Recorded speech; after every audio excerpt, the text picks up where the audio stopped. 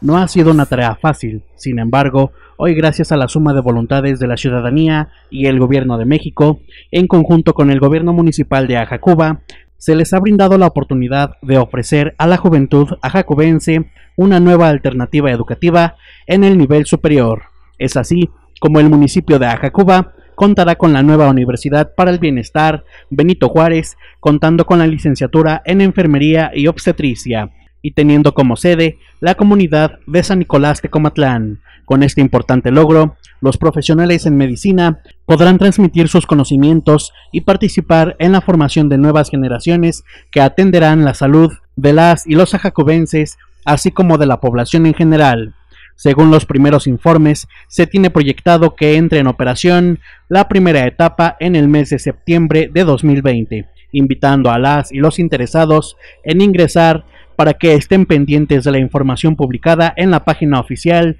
del Gobierno Municipal de Ajacuba. El edificio que será sede de la nueva Universidad para el Bienestar de Ajacuba se ubicará en terrenos del ejido de Tecomatlán, en el predio conocido como La ETA. Para mayor información es necesario acudir a la oficina de la Secretaría General Municipal, donde se le brindarán los pormenores acerca de las vacantes y requisitos, en un horario de lunes a viernes de 9 de la mañana a 4 de la tarde y sábados de 9 de la mañana a 4 de la tarde. Cabe mencionar que la licenciatura en educación estará únicamente vigente para aquellos alumnos que la cursaban en la sede del municipio de Francisco y Madero y puedan concluir su carrera en esta nueva sede. Oscar Recendis para Mezquital al Día.